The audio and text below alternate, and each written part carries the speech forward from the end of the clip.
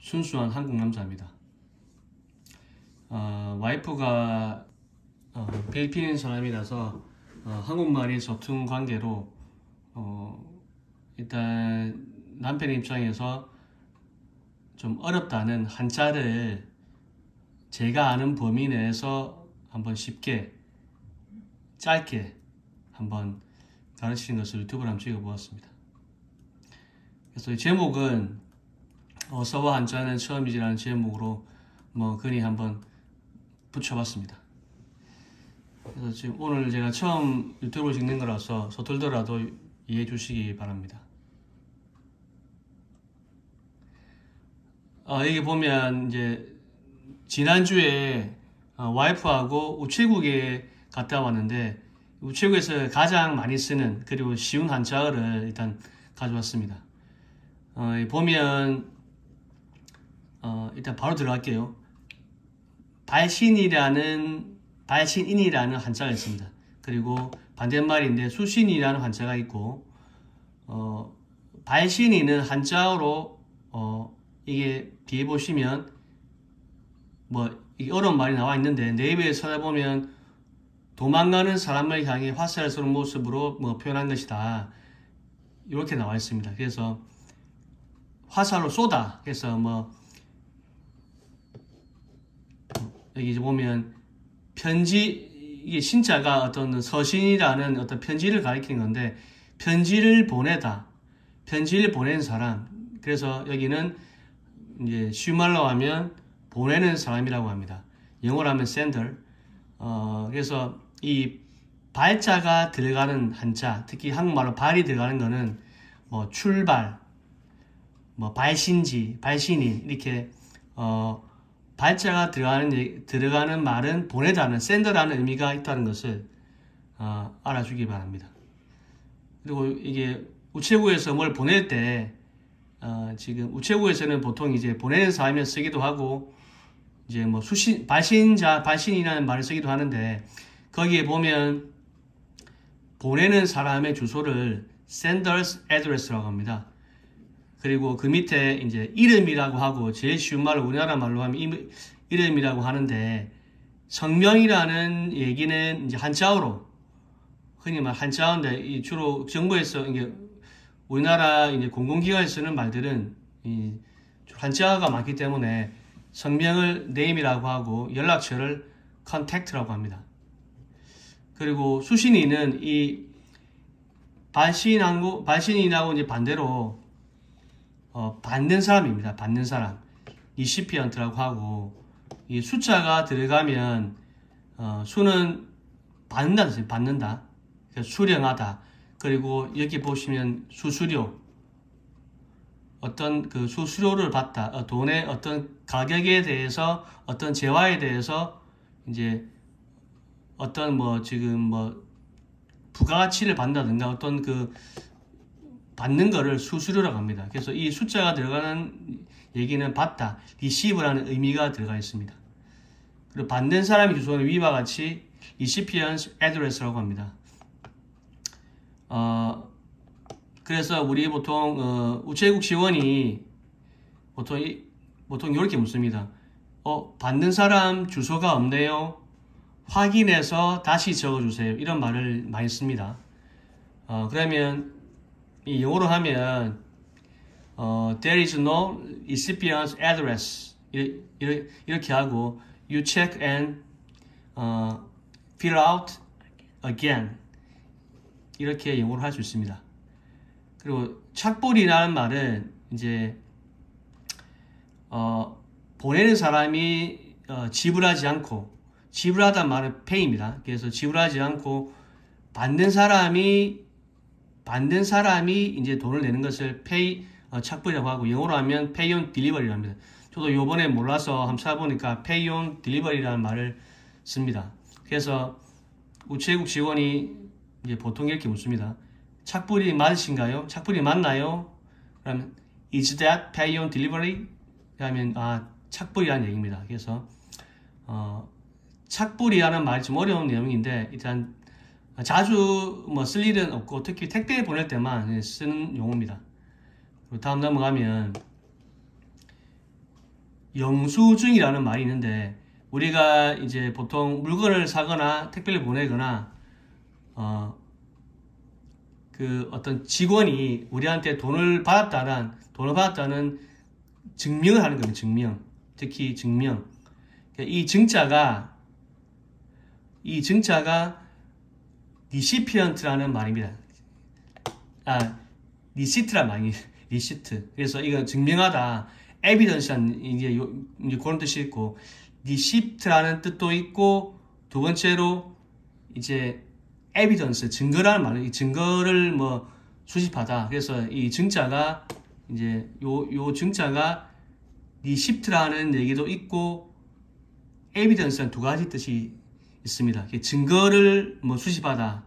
그럴 때는 이제 다른 말입니다. 그래서 여기서는 어, 우체국 직원이 영수증을 카톡으로 보내줄까요? 아니면 종이려 줄까요? 이런 얘기를 주로 이제 많이 합니다. 요즘 카톡을 많이 쓰기 때문에 어, Could I send you um, receipt uh, by KakaoTalk or paper? 이렇게 해서 어, 생각하시면 되겠습니다. 그래서 영수증 할 때 증자는 뭐 어, 증명서, 그 다음에 뭐 각종 증서. 그래서 이거는 어, 주로 다큐멘트에 많이 쓰는 말, 영수증, 그 다음 증명서, 그 다음에 뭐 예, 그런 말이 있습니다. 그리고 근무 시간은 흔히 말하는 work time인데 이 근무하다, 근무라는 얘기가 들어가면 주로 이제 업무 시간, 근무 시간이 하는데 주로 일적으로 이제 관련된 얘기입니다. 근무 시간은 어 그래서 근무는 이제 work고 휴무는 off입니다. 그래서 무가 들어가면 labor라는 뜻이 있습니다. 매일 labor. 그래서 근무, 휴무. 그래서 근무를 하지 않다. 휴무. 그런 말입니다. 휴무. 그리고 이제 회사에서 출근하면 출근이고 어 그 다음에 학교에서는 학교 이게 교자가 스쿨입니다. 그래서 출근하고 같은 말입니다. 어, 학교로 가다, go to school인데 이거는 한자로 하면 등교. 이 원자는 이제 kindergarten인데 유치원에 가다, 등원. 이 반대말은 퇴근, 하교, 하원이 있습니다. 이 다 이제 반대말입니다. 그래서 이건 학교 할 때 이제 스쿨이고 원은 유치원 할 때 원입니다. 그래서 어린이집이나 이제 지금 현재 뭐 어, 유치원 다니신 학부모님들은 이제 선생님들이 주로 하는 말입니다. 등원했어요? 하는 게 등원. 어, go to kindergarten. 그런 말입니다. 이는 go to school이고 이 출근이란 말은 go to work. 다 같은 맥락으로 보시면 되겠습니다. 그리고 이제 여기 우체국은 9시부터 6시까지 근무합니다. 어, the post office is 9 to 6 o'clock. 이렇게 해서 이제 이 우체국은 9시부터 6시까지 근무합니다. 그런 말, 말이고요. 그리고 그 다음에 이제 소포의 내용 중에 의류란 말이 있어요. 의류. 의류란 말 쉽게 옷입니다. 옷. clothing. 그러니까 모든 옷입니다. 모든 옷인데 all clothing인데 류가 들어가면 어, 어떤 어, 집합체입니다. 그러니까 어, 서류, 그 다음에 서정류, 그러니까 류가 들어가면 이 밑에 서류가 나오는데 류가 들어가면 many kinds of 또는 어, all of something 이런 말입니다. 그래서 의류한 얘기는 여러 가지 옷들입니다. 그래서 이제 의류한 얘기는 이제 sportswear 그 다음에 suit 그 다음에 coat 그런 옷들의 총 집합을 얘기합니다. 그래서 이 의류 가 들어가면 의류는 이제 의자한 얘기는 옷 입자이기 때문에 clothing 이게 every, 그러니까 모든 옷입니다. 의류. 그 다음에 스포츠류 하면 스포츠 관련된 의류. 이제 그렇고, 어, 그 다음에 이 소포의 내용물은 뭐 contents of package입니다. 그래서 이, 이 박스 안에 소포의 내용물을 이렇게 쓰고요. 이 내용물을 한자를 이렇게 씁니다. 한자는 어렵기 때문에 패스하도록 하겠습니다. 어, 보통 이제 우체국 지원이 박스 안에 뭐가 들어있어요? 물어 박스 안에 뭐가 들어있어요? 이래 물어보면 이제 영어로 얘기하면 어, 어, What does your package include? 이렇게 이제 박스 안에 뭐가 들어있어? 이 가장 많이 물어보는 게 박스 안에 뭐가 들어있는지를 외국인이 이제 항상 생각이 됩니다. 이 박스 안에 저는 옷을 담았는지, 이제 식품을 담았는지, 유리를 담았는지, 그래서 요 박스 안에 내용물이 뭔지는 꼭 알고 가셔야 됩니다.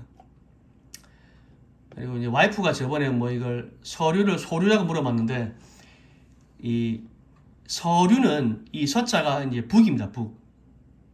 책이란 뜻이고 어, 또는 이제 그림 이런 뭐 글자와 관련된 그 어떤 그 도서들 그 다음에 그런 글자들이 모여 있는 문서를 말합니다. 각종 문서들 문서할 때 서자입니다. 그래서 서류라는 얘기는 document를 모든 서류를 이제 document를 하는데 보통 이 서자가 들어가기 때문에 서적이라 하면 어 책을 얘기하면 책을 어렵게 서적이라 얘기하면 뭐 책을 책을 좀 어렵게 얘기하면 서적이라 하고 도서관은 이 책 서자가 되기 때문에 책이 모여 있는 빌딩이라 해서 이거는 이제 라이브러리입니다. 책 서자 이 북이고 관자는 이제 빌딩입니다.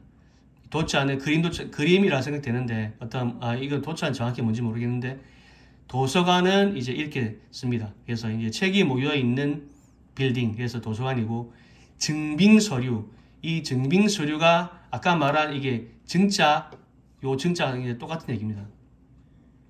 evidence documents입니다. 그래서 이거는 어, 증빙 서류라는 얘기를 쓰는데 그냥 어떤 서류를 내면 보충할 수, 뭐, 그걸 뭐 보여줄 수 있는 보충적인 사로, support 할 수 있는 document를 이제 증빙 서류라고 합니다. 그래서 이제 이런 증빙 서류란 얘기를 이제 가장 관공서에서 가장 많이 쓰는 증빙 서류, 그 다음에 어 근무 시간 영수증, 그리고 이제 우체국 같은 경우에는 박스 안에 뭐가 들어있으라 이런 이제 가장 이제 쉬운 말들 이런 거를 이제 일단 해봤습니다. 그리고 이런 이제 서자 이제 서자 이제 이런 류자 류류 이렇게 류 이런 류가 들어가면 어떤 집합체고 근무할 때 이제 무가 들어가면 어떤 뭐 일과 관계된 work로 관계된 거라고 생각하시면 되겠습니다. 그 아까 말한 증자는 이제 recipient라는 얘기고 요 뒤에 거는 이제 제가 이제 몰라서 한번 찾아본 얘기인데 뭐 이런 얘기가 있습니다. 뭐 증자 이게 증거나 증명하다 특히 evidence나 이제 prove 이런 이제 뜻이 있습니다. 그래서 증자가 나온 주로 증명하다 이런 뜻은 광고에서 많이 쓰는 말이 일반적으로 우리가 대화에서는 잘 안 쓰는 말입니다. 예, 이상입니다. 이제 오늘은 이제 이렇게 강의를 했는데 어, 일단 이게 외국인들이 제가 외국, 와이프가 외국인이다 보니까 한자를 굉장히 어렵게 생각을 해서 어, 저도 마찬가지 영어가 영어가 좀 어려운데 그 특히 관공서에 쓰는 영어가 이제 어렵듯이 여기 관공서에 쓰는 한자가 어려워서 앞으로 이제 이 부분을 좀 쉽게 어떤 좀 이제 이해하기 쉽게 영어로 좀 설명하는 걸로 한번 앞으로 계속 한번 만들어 볼 생각입니다. 이상입니다.